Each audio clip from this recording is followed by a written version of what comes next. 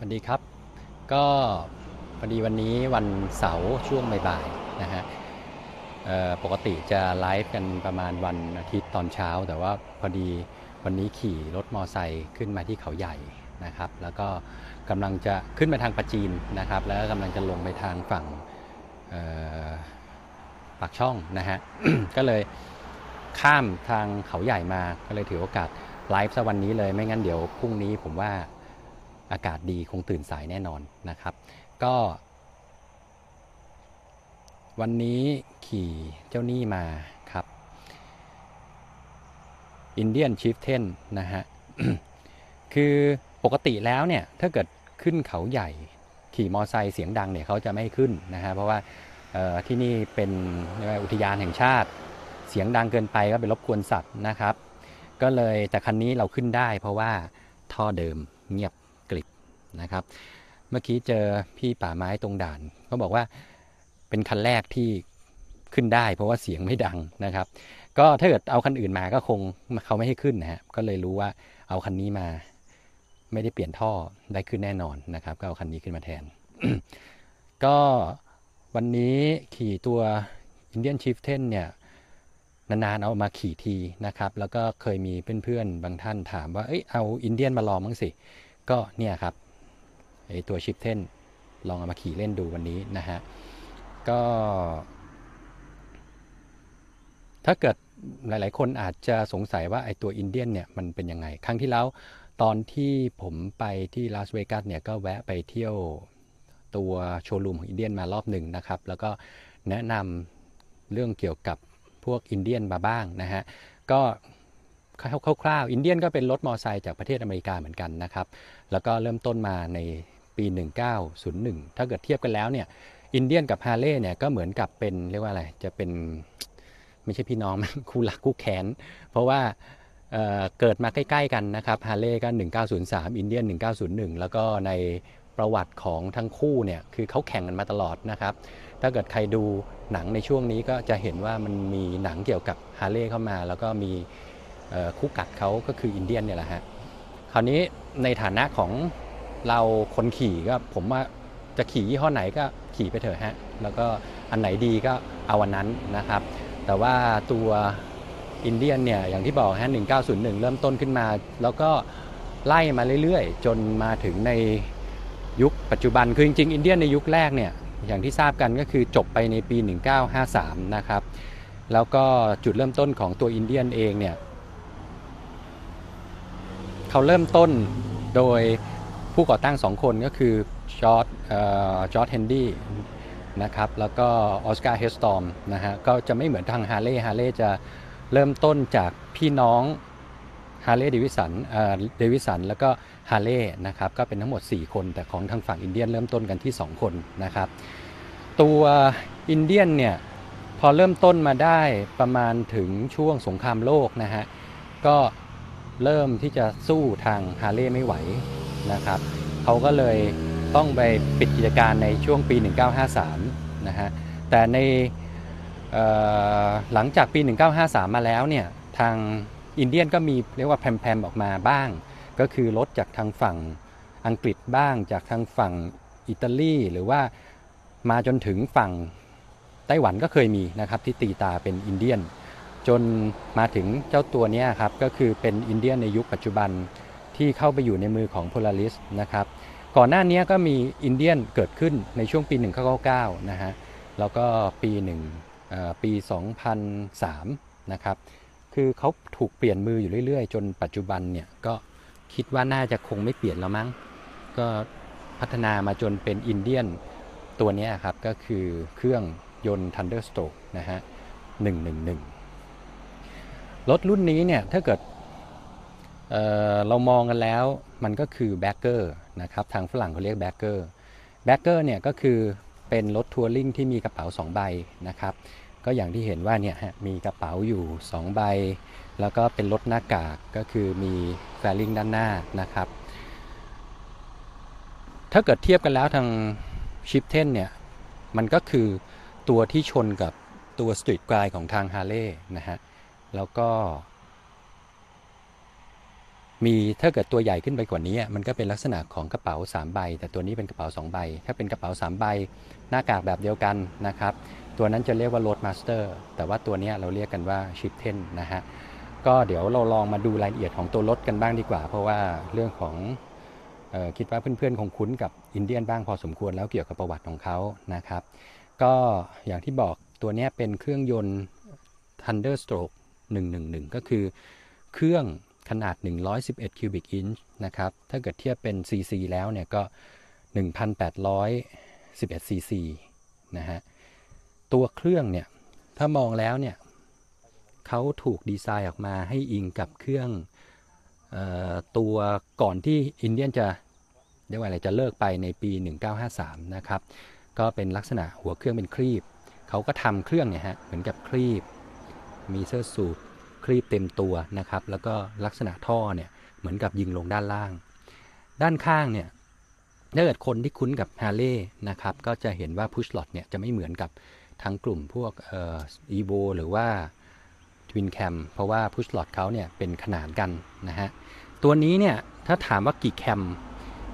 Indian มีทั้งหมด 3 cam นะครับ ตัวใหม่ล่าสุดของทางฮาร์เลย์เนี่ยคืออย่างเครื่อง ตัว Milwaukee เอกเนี่ยเป็น 1 cam แต่ถ้าเกิดยุคก่อนที่จะมาเป็น Milwaukee เอกก็คือ Twin Cam มี 2 cam นะครับแต่ว่าอินเดียนทำเครื่องออกมาเป็น 3 แคมนะฮะก็จะเห็นว่าพอมันเป็น 3 แคมปุ๊บเนี่ยตัวฐานของตัว push rod มันก็เลยขึ้นมาเป็นขนานไม่ได้ขึ้นมาเป็นเหมือนกับเป็นเรียกว่าอะไรฐานเอ่อฐานอันเดียวกันอะไรอย่างนั้นน่ะผมก็เรียกไม่ถูกนะฮะก็เครื่องยนต์ตัวนี้ ถ้าถามว่า มันกำลังขนาดไหน 111 คิวบิก ถ้าไปเทียบทางฝั่งฮาร์เลย์ไม่ได้นะครับ เพราะว่าเครื่องทางฝั่งอินเดียนเนี่ยก็เรียกว่าเนิบๆนะครับ ถ้าความแรงความจัดเนี่ยยังไงก็ต้องยกให้ฮาร์เลย์แต่ว่าถ้าเกิดความนุ่ม เรียกว่ามีกำลังในช่วงมิดนะครับ ช่วงประมาณสัก 80 ถึง 120 เนี่ยโอเค มากับตัวนี้ได้ แต่ถ้าเกิดจัดจ้านหรือหวาคงต้องไปทางนู้นนะครับ ลักษณะเครื่องยนต์เนี่ย เป็นสูบ V นะฮะก็เป็นสไตล์ของทางฝั่งอเมริกันเขาระบายความร้อนด้วยน้ำมันนะครับ ไม่มีหม้อน้ำก็ยังคงเป็นแบบสไตล์ดั้งเดิมอยู่นะฮะในตัวช่วงด้านหน้าเนี่ยก็จะเป็นเบรกเป็นดิสก์คู่นะครับมี ABS มาให้ แล้วก็ ช่วงโช้คด้านหน้าก็เป็น telescopic นะครับ มีกันล้มติดมา แล้วก็กระเป๋าเนี่ยกระเป๋าของทาง Indian จะเป็นระบบเรียกว่าล็อกไฟฟ้านะฮะเนี่ยครับใช้มือเดียวเปิด แล้วก็ตรงนี้มันจะมีชุดล็อกของเขา สามารถกดปุ่มล็อก unlock ได้จากตรงคอนโซล แล้วก็ในนี้ก็เอาไว้เก็บของกระเป๋าก็ไม่ได้ใหญ่อะไรมากมายสำหรับตัว Indian นะฮะนี่ก็มีเสาวิทยุให้ เบาะซ้อนหนา เป็นขนมปังคือนั่งสบายนะครับ ฝั่งนี้ก็กระเป๋าด้านซ้าย ตัวท่อเนี่ยออกมาเป็นท่อคู่ซ้ายขวานะครับ แต่ว่าใช้เป็นท่อเรียกว่า 212 ก็คือมันจะมีช่วงเชื่อมกันอยู่ ฝั่งด้านนี้เนี่ยความแตกต่างของทางฮาร์เลย์กับอินเดียนก็คือฝั่งซ้ายเขาจะเป็น air filter นะฮะ ตัวนี้พอดี ใส่ตัว air filter แต่งเข้ามาก็เลยเป็นกรองเปลือยนะครับ แต่ถ้าเป็นฝั่งของทางฮารองจะไปอยู่ด้านขวานะฮะตัวลักษณะของ primary ก็จะไม่เหมือนกันคือของทาง Indian เนี่ยก็คือใช้เป็นลักษณะชุดเกียร์อยู่ในแคร้งเดียวกันหมดเลยนะครับ ก็จะไม่เหมือนกับทางฝั่งฮาร์เลย์ลักษณะของพักเท้าก็เป็น floorboardนะครับ คนซ้อนหลังก็เป็นฟุตเต็ก แต่แล้วแต่ถ้าเกิดจะไปเปลี่ยนเป็นฟอร์บอร์ดให้คนซ้อนก็ได้ ตัวคอนโซลเป็นสีโครมนะครับ ตัวนี้อย่างที่บอกเนี่ยฮะก็เป็นปุ่มเปิดปิดกระเป๋า อันนี้ปุ่มเปิดเครื่องเปิดรถนะครับ ก็พอกดเสร็จปุ๊บก็เนี่ยฮะก็มีขึ้นโลโก้ ก็มีวัดความเร็ววัดรอบนะครับ แล้วก็เล่นเพลงได้ ผมต่อบลูทูธเอาไว้คือ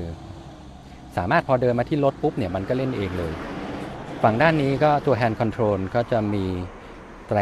นะครับ ไฟสูงไฟต่ำไฟเลี้ยว ตัวนี้ก็จะเป็นชุดควบคุมตัวเเรียกว่าอะไรมัลติมีเดีย จะเล่นเพลงเปิดเสียงขึ้นเสียงลงขยับเพลงก็กดอยู่ตรงนี้แหละฮะ ตรงนี้เป็นปุ่มมิวก็คือเวลาเราเล่นเพลงอยู่อะไร เราอยากจะให้เงียบก็กดตรงนี้เลยนะครับ อันนี้เป็นโหมด ส่วนตัวนี้ ตัวนี้จะเป็นเอกลักษณ์ของทางอินเดียนนะครับก็คือปุ่มยกชิลขึ้นลงนะครับ ตัวชิลเนี่ยมันสามารถที่จะปรับขึ้นลงได้นะฮะถ้าเกิดเราขี่ทางเป็นเหมือนกับทางไกลๆก็ยกชิลขึ้นซะมันก็กันลมได้สบายดีนะครับ ก็ปรับจากตรงนี้แหละฮะปุ่มที่มือนะครับ ข้างๆนี้ก็จะมีตัวที่จุดบุหรี่ก็สามารถเอาไว้ชาร์จไฟได้นะครับไอตัวนี้ปุ่มไว้สำหรับกดไฟหน้า ฝั่งนี้ก็ hand control ด้านขวาก็มีปุ่ม on off นะครับ เครื่องยนต์ แล้วก็ปุ่ม hazard ไฟเรียกว่าไฟฉุกเฉินนะฮะ ตัวนี้มี cruise control มาให้ก็คือกดตัวเนี้ย เสร็จปุ๊บ มันสามารถที่จะ set cruise ได้ ตัวนี้ปุ่ม start นะครับ ก็ลักษณะของการควบคุมของตัว shift 10ก็ประมาณนี้คือลักษณะของอินเดียนเนี่ยเขาให้ของแต่งมาอย่างเนี้ยเห็นไหมตัวเนี้ยครอบ ก็เป็นโครมมาให้แล้ว แต่ว่าระบบคลัชเนี่ยยังเป็นสายอยู่นะฮะ ไม่ใช่ไฮดรอลิก ฝั่งนี้ก็ชุดตัวปั๊มเบรกก็เป็นโครมมาให้นะครับ มีลำโพงมาให้ 2 ตัวนะครับ อันนี้ก็เป็นอุปกรณ์พื้นฐานของทางอินเดียนนะครับ เบาะก็เนี่ยฮะเป็นเบาะซ้อนได้สีดำด้านหน้าของตัว Shift 10นะครับก็ไม่เหมือนกับทาง batwing ทางฝั่งฮาร์เลย์คือ Shift 10เนี่ย ตัวเนี้ยไอตัว fairing หน้าเขาใช้ เรียกว่าอะไรเขาเขามีแรงบันดาลใจมาจาก locomotive locomotive ก็คือรถไฟที่อยู่ในอเมริกาในยุคประมาณ 5060 นะครับ ถ้าลองไป search ดูเนี่ย ก็จะเห็นว่ามีรถไฟหน้าตาอย่างเงี้ยฮะ มันเป็นเหมือนกับไฟดวงกลมๆ อันเดียวนะครับ ก็ อันนี้เป็นสไตล์ของทางอินเดียนเขา แต่ถ้าเกิดเป็นทางฝั่งฮาร์เลย์เนี่ย เขาจะใช้คำว่า batwing ก็คือเป็น fairing แบบ batwing นะฮะ ตัวนี้ถังน้ำมันก็เป็นโลโก้ war bonnet ก็คือหัวหน้าเผ่าเนี่ยแหละครับ ถังสีดำตัวโลโก้สีทอง และที่ซ่อนเอาไว้ตรงนี้ก็มีนี่ด้วยในเฟรม เฟรมตัวนี้เป็นเฟรมอลูมิเนียมนะฮะเขาก็เลยปั๊มไอ้ตัวโลโก้ หัวหน้าเผ่าไว้ตรงเฟรมด้วย การขับเคลื่อนตัวนี้ใช้เป็นสายพานนะครับ ไม่ใช่โซ่ไม่ใช่เพลาก็เป็นสไตล์ของทางอเมริกันเขา มี ABS ติดมาให้เป็นอุปกรณ์มาตรฐานนะครับ ก็วันนี้ขึ้นมาอยู่บนเขาใหญ่ พอดีวันเสาร์คนก็เยอะเรียกว่าอะไร เป็นวันพักผ่อนนะฮะ นักท่องเที่ยวค่อนข้างเยอะ เดี๋ยว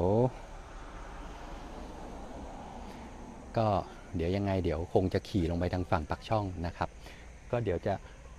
ลองเอากล้องติดเข้าไปที่ตัวเหมือนเดิมนะฮะแล้วก็ขี่ตัวชิปเทนแล้วลองรีวิวให้ฟังว่าลักษณะการขี่เป็นยังไง แต่ว่าคงไม่ได้ยินเสียงนะครับ เพราะว่ารถมันไม่ได้มีท่อ แล้วก็